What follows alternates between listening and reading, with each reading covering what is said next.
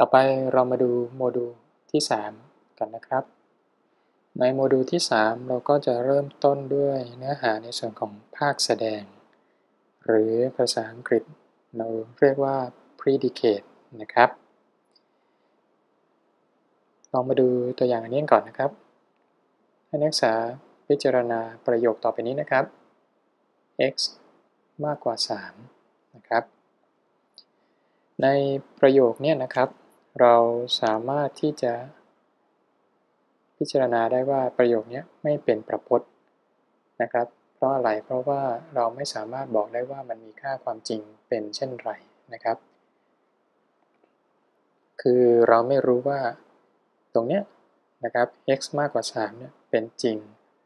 หรือเป็นเท็จนะครับ เพราะฉะนั้นมันก็ไม่เป็นประพจน์ ทีนี้ใน เจ้าตัวประโยค x มากกว่า3เนี่ยนะครับ เราก็จะแยกได้ออกเป็น 2 ส่วน ส่วนที่ 1 คือ x เราเรียกว่าตัวแปรนะครับ ส่วนที่ 2 คือ มากกว่า 3 นะครับ อันนี้คือส่วนของภาคแสดง หรือ predicate นั่นเองนะครับ ซึ่งถ้าเรานำเอา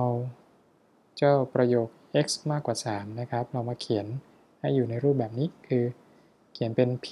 ในวงเล็บแล้วก็ x นะครับ อันนี้เราจะอ่านว่าฟังก์ชันประพจน์ p ที่ x นะครับ ก็คือเมื่อเราแทนค่า x แล้วนะครับ จะทำให้ p นี้กลายเป็นประพจน์ แล้วก็มีค่าความจริงเกิดขึ้นมา เพราะฉะนั้นสรุปนะครับก็คือตรงนี้ เราจะได้ว่า ภาคแสดงมีไว้เพื่อสร้างประพจน์จากฟังก์ชันประพจน์นะครับ ตรงนี้คือฟังก์ชันประพจน์นะครับ มีตัวแปรคือ x นะครับ เราบอกว่าให้ px p ในวงเล็บ x นะครับ แทน x มากกว่า 3 นะครับ เพราะฉะนั้นเราจะได้ว่าฟังก์ชันประพจน์ p ที่ x ก็คือเมื่อเราแทน x ลงไป เราจะได้ p ที่เป็นประพจน์ขึ้นมานะครับ เราลองมาดูตัวอย่างกันนะครับ ในตัวอย่างที่ 7 ให้ px แทนประโยค x มากกว่า 3 นะครับ จงหาค่าความจริงของ p ในวงเล็บ 4 แล้วก็ p วงเล็บ 2 นะครับ ก็ไม่มีอะไรครับ ก็แทนค่า x ลงไปนั่นเอง หาอันแรกนะครับ p ในวงเล็บ 4 นะครับ อันนี้ก็หมายความว่าอะไรก็คือ เราแทน x ด้วย 4 นะครับ เพราะฉะนั้นเราก็จะได้ 4 มากกว่า 3 ตรงนี้ ตัวนี้คือ x นะครับ ตรงนี้ก็คือ x อันนี้คือ px นะครับ อันนี้คือ x มากกว่า 3 นะครับ ฉะนั้นพอโจทย์กำหนดมาว่า x เป็น 4 เราก็แทน x ตรงนี้ด้วย 4 นะครับ ดังนั้นอันนี้จะมีค่าความจริง เป็นอะไรครับ 4 มากกว่า 3 เป็นจริงไหม ก็คือเป็นจริงนะครับ ค่าความจริงก็เป็นจริง อันต่อมาครับ p ในวงเล็บ 2 คือ x เป็น 2 นะครับ ก็เหมือนเดิมครับ ตรงนี้เราจะได้ 2 มากกว่า 3 ดังนั้น ค่าความจริงเป็นอะไรครับ ก็จะเป็นเท็จนะครับโอเคอันนี้คือ ตัวอย่างที่ 7 นะครับ ต่อไปมาดูตัวอย่างที่ 8 กันนะครับ ในตัวอย่างที่ 8 นะครับ โจทย์ให้ q ในวงเล็บ x y ก็คือมีตัวแปร 2 ตัวนะครับ แทนประโยค x เท่ากับ y บวก 3 ให้หาความความจริงของประพจน์นะครับ กรณีที่เราอันแรกนะครับ แทน x เท่ากับ 1 แทน y เท่ากับ 2 นะครับ อีกอันหนึ่งคือ q ในวงเล็บ 3 แล้วก็ 0 นะครับ คือ x เป็น 3 แล้ว y เป็น 0 ก็เหมือนเดิมครับ เราก็แทนค่าลงไปนะครับ ดูอันแรก q 1 2 นะครับ อันนี้ก็คือ x เราเป็น 1 นะครับ y เป็น 2 นะครับ ตัวนี้คือ x ตัวนี้คือ y ดังนั้นอันนี้เราจะได้ค่าความจริงเป็นอะไรครับ 1 เท่ากับ 2 บวก 3 นะครับ ค่าความจริงก็คือเท็จนะครับ false นั่นเอง ที่ 2 นะครับ q 3 แล้วก็ 0 นะครับ อันนี้ก็คือ x เราเป็น 3 นะครับ เท่ากับ y คือ 0 แล้วบวกด้วย 3 ดังนั้นค่าความจริงก็จะเป็นจริง โอเคนะครับ ต่อไปเรามาดูอีกตัวหนึ่งนะครับ คือตัวบ่งปริมาณ หรือภาษาอังกฤษเราเรียกว่า quantifier นะครับ นอกจากที่เราจะใช้ จ้าตัวภาคแสดงนะครับในการสร้างประพจน์จากฟังก์ชันประพจน์แล้วนะครับ เราสามารถใช้ตัวบ่งปริมาณมาช่วยในการสร้างประพจน์ได้เช่นกันนะครับ เจ้าตัวบ่งปริมาณเนี่ยนะครับ มันก็จะมีอยู่ 2 ชนิด ชนิดแรกเราเรียกว่า universal quantifier สัญลักษณ์เป็นตัว a กลับหัวนะครับ ชนิดที่ 2 คือ existential quantifier เป็นสัญลักษณ์ตัว e กลับด้านนะครับ เรามาดูทำความรู้จักกับทั้ง 2 ตัวนี้ก่อนนะครับ ตัวแรกในนิยามที่ 1.8 นะครับ universal quantification ของ p ในวงเล็บ x เราเขียนแทนด้วยอย่างนี้นะครับ อันนี้ก็คือตัว a กับหัว x p ในวงเล็บ x นะครับ หมายถึงอะไร หมายถึงประพจน์ที่มีค่าความจริงเป็นจริงสำหรับทุกๆค่าของ x ในโดเมนที่กำหนด นะครับ เป็นจริงสำหรับทุกค่าของ x นะครับ เราอ่านว่าอย่างนี้นะครับ เราอ่านว่าสำหรับ x px ทั้งหมดสังเกตเราก็พูดว่า for all x px นะครับ หรืออาจจะเรียกว่าสำหรับทุกๆ x px for every x px ก็ได้นะครับ แต่ส่วนใหญ่ผมก็จะพูดอันนี้ for all x px นะครับตัวที่ 2 นะครับ ชนิดที่ 2 ก็คือเจ้าตัว existential quantification ของ px เขียนแทนด้วยสัญลักษณ์ตัวนี้นะครับ ตัว e กลับด้านแล้วก็ x p แล้วก็ในวงเล็บ x หมายถึงอะไรก็คือเป็นประพจน์ที่มี x ตัวใดตัวหนึ่งในโดเมน ที่ทำให้ px มีค่าความจริงเป็นจริงนะครับ อันนี้ก็คือมีเฉพาะ x ตัวใดตัวหนึ่งที่ทำให้เป็นจริงนะครับ เราอ่านสัญลักษณ์แบบนี้นะครับ เราอ่านว่าสำหรับ x px บางตัว ก็คือ for some x px เรามาดูตัวอย่างกันครับว่าเราเอาตัว บ่งปริมาณมาสร้างครับเป็นประพจน์ได้อย่างไร ในตัวอย่างที่ 9 นะครับ ให้ px เป็นประโยค x บวก 1 มากกว่า x นะครับเขาบอกว่าจงหาค่าความจริงของ อันนี้คืออะไรฮะ for all x px นะครับ ในโดเมนของจำนวนจริงทั้งหมด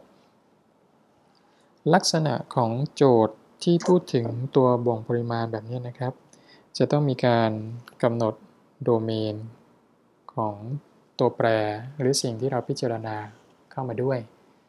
นะครับ ในที่นี้ก็คือกำหนดมาตามที่ผมขีดเส้นใต้สีแดงนะครับ ก็คือในโดเมนของจำนวนจริงทั้งหมดนะครับ ซึ่งนักศึกษาก็ต้องเข้าใจเรื่องของจำนวนจริงถูกไหมครับว่าจำนวนจริงคืออะไร นะครับนักศึกษาลองพิจารณาดูครับ โจทย์กำหนดมาว่าอย่างนี้คือ p x นะครับ แทน แทนอะไรฮะ x บวก 1 มากกว่า x นะครับ สิ่งที่โจทย์ต้องการให้หาคือถามว่า for all x px เนี่ย มีค่าความจริงเป็นอะไร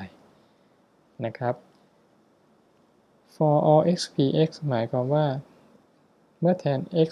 ลงไปตรงนี้แล้ว ต้องได้ proportion ที่มีค่าความจริง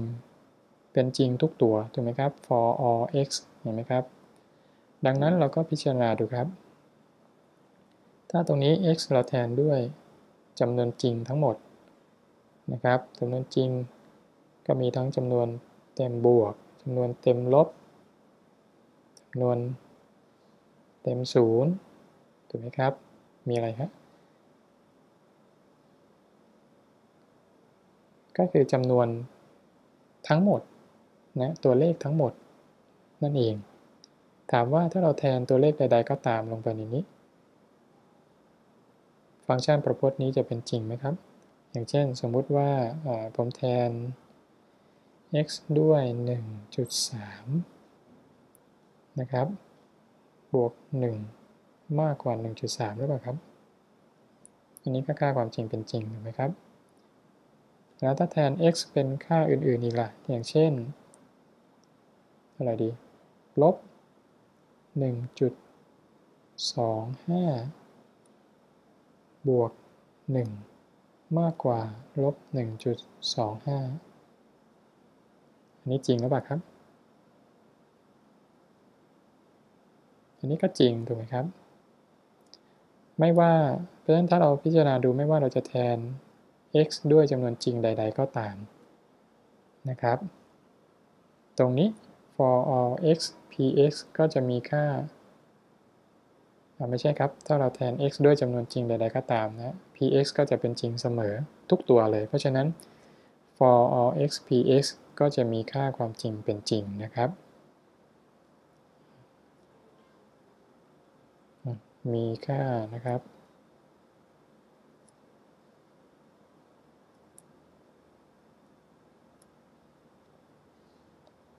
เป็นจริง เพราะมันเป็นจริงทุกตัวนะครับ ทุกๆตัวของ x แทนลงไปมันเป็นจริงหมดเขียนนะครับ อันนี้คือตัวอย่างที่ 9 ต่อมาในตัวอย่างที่ 10 นะครับ ให้หาค่าความจริงของ for all x ในวงเล็บ x กำลังสองน้อยกว่า 10 เมื่อพิจารณาในโดเมนของจำนวนเต็มบวกที่มีค่าไม่เกิน 4 นะครับ ทีนี้แล้วอย่างที่บอกไปก็จะกำหนดโดเมนมาให้ ถามว่าจำนวนเต็มบวกที่มีค่าไม่เกิน 4 คือเท่าไหร่บ้าง ก็มี 1 ใช่ไหมครับ 2 3 และ 4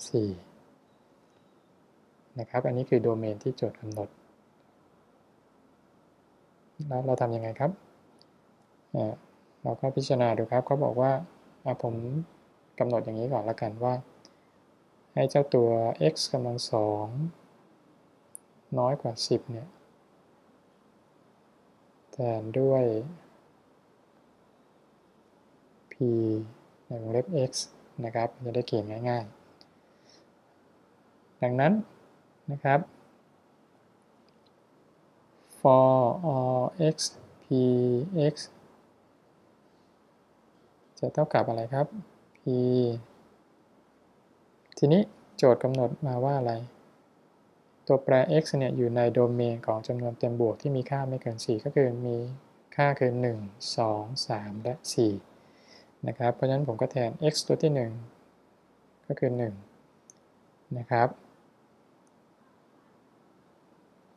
แทนกับ p นึงลบ x ตัวที่ 2 นะครับ ก็คือ 2 แทนกับ p นึงลบ x ตัวที่ 3 ก็คือ 3 แล้วก็แอนกับ p นึงลบคือ x ตัวที่ 4 ก็คือ 4 นะครับ สังเกตดูนะครับ for all x เราบอกว่า ต้องเป็นจริงสำหรับทุกๆค่าของ x เพราะฉะนั้นมันก็คือถ้าเราเขียนแยกมาก็เหมือนกับ การเอาประพจน์แต่ละตัวมาแอนกัน ลักษณะแบบนี้นะครับเราก็ดูครับ ตัวที่ 1 แทน x ด้วย 1 คืออะไร ก็คือตรงนี้เป็น 1 1 ยกกำลังสอง น้อยกว่า 10ไหมครับ1นึ่งยกกำลังสองน้อยกว่าถูกไหมครับ เพราะฉะนั้นมีค่าความจริงเป็นจริง ต่อมาครับตัวที่ 2 อันนี้ได้อะไร2ยกกำลังสองน้อยกว่า 10ไหมสองกำลังสองได้4ถูกไหมครับ ก็น้อยกว่า 10 มีค่าความจริงเป็นจริง ตัวต่อมาครับ x เป็น 3 3 ยกกำลัง 2 3 3 9 นะครับ เพราะฉะนั้นก็น้อยกว่า 10 มีค่าความจริงเป็นจริง ตัวสุดท้ายครับ เราแทน x ด้วย 4 4 ยกกำลัง 2 ได้ 16 เห็นไหมครับ เพราะฉะนั้น 16 น้อยกว่า 10 เป็นจริงหรือเป็นเท็จครับ เป็นเท็จนะครับ ดังนั้นเราจะเห็นว่า เมื่อเราพิจารณาดู ฟังก์ชันประพจน์ที่เราแทนค่า x ลงไปกลายเป็นประพจน์เนี่ยในโดเมนที่กำหนดแล้วนะครับ ทุกตัวจะเห็นว่าตัวแรกเป็นจริง ตัวที่ 2 เป็นจริง ตัวที่ 3 เป็นจริง แต่ x ตัวที่ 4 เราได้ผลลัพธ์เป็นเท็จนะครับ ตรงนี้เราบอกว่า for all x ต้องเป็นจริงทุกตัว แต่ตรงนี้ไม่ได้เป็นจริงทุกตัว เพราะฉะนั้นแสดงว่านะครับ ผลสรุปของ for all x px โดย x นะครับ เป็นจำนวนเต็มบวกที่มีค่าไม่เกิน 4 เนี่ยนะครับ จะได้ผลสรุปคือเป็นเท็จนะครับ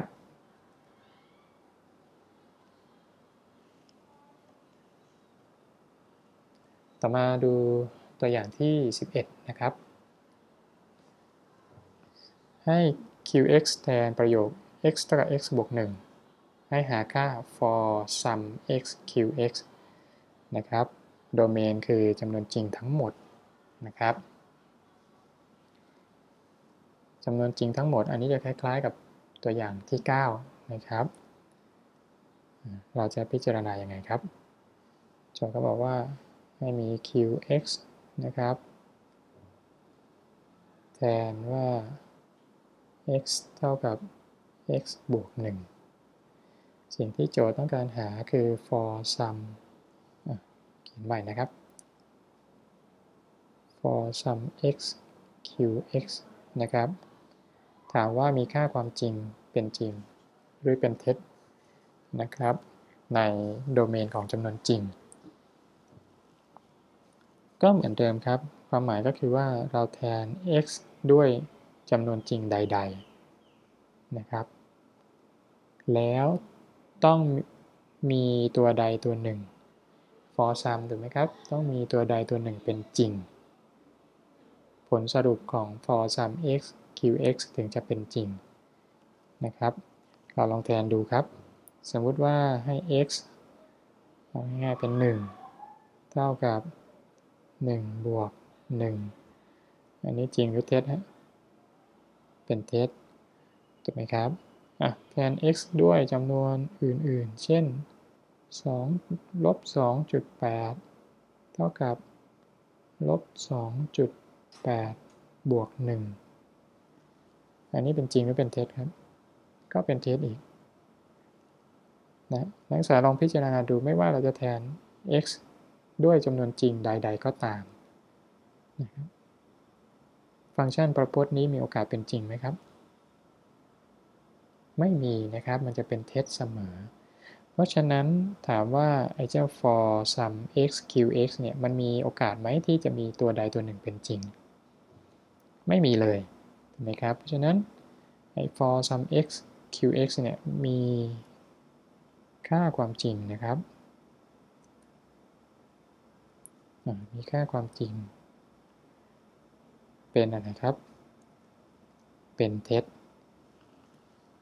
นะครับ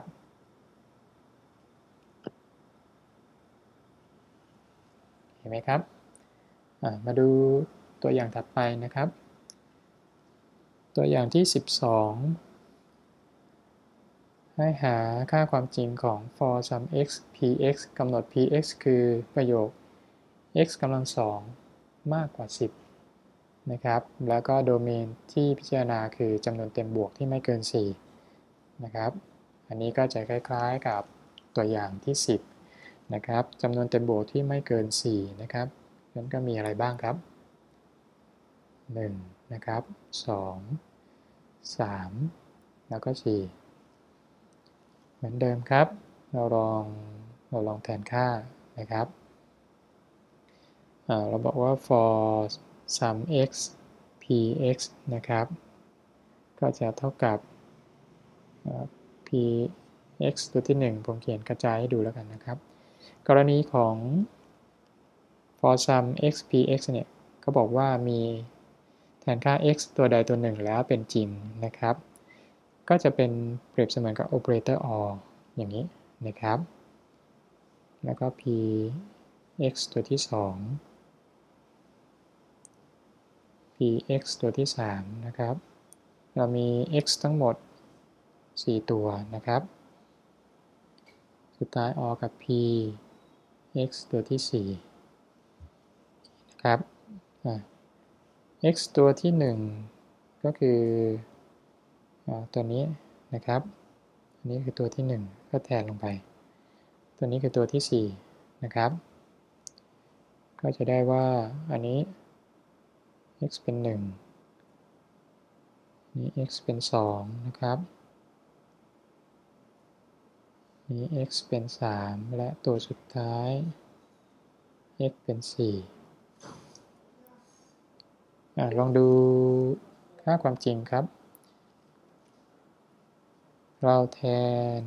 x เป็น 1 นะ1ยกกำลัง2ก็ได้ 1 1 มากกว่า 10 หรือเปล่าครับ ไม่มากกว่า เพราะฉะนั้นเป็น false ตัวถัดมาครับ แทน x ด้วย 2 2 ยกกำลัง 2 ได้ 4 4 มากกว่า 10ไหมครับ ไม่มากกว่า เพราะฉะนั้นก็เป็น false ตัวถัดมานะครับ แทน x ด้วย 3 3 ยกกำลัง 2 ก็ได้ 9 9 มากกว่า 10 หรือเปล่า ไม่นะครับ นั่นก็เป็น false ตัวสุดท้ายนะครับ แทนด้วย x ด้วย 4 4 4 ได้